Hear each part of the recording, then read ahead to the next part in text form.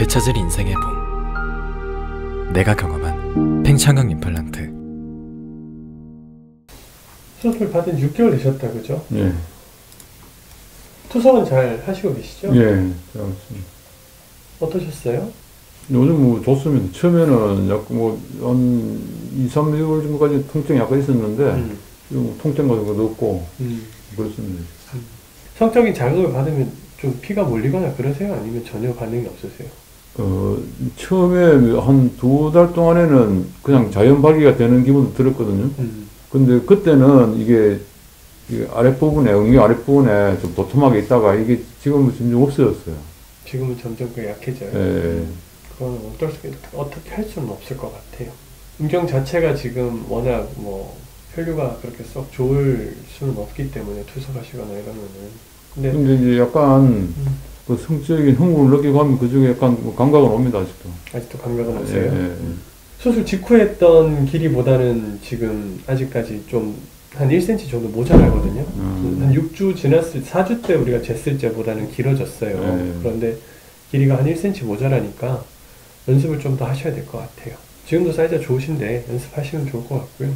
두께도 마찬가지고 좀 더 좋아질 테니까 연습을 좀 해주세요. 예. 사실 투석하시고 계셔가지고 걱정이 많으셨을 텐데 제일 걱정되시던 게 어떤 거였어요? 그러면 뭐 2차 감염이나 음, 뭐 그런 쪽이죠.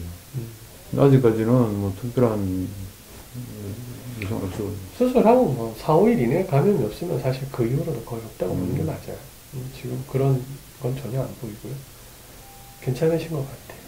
예. 감각이나 이런 거 괜찮으시죠? 예, 감각 같은 거는 뭐 원래 그대로인데 음. 제가 원래 좀 지루기가 있었거든요. 네, 뭐 조금 더- 조금 더 이게 지루가 늘어난 것 같아요. 조금 더. 예.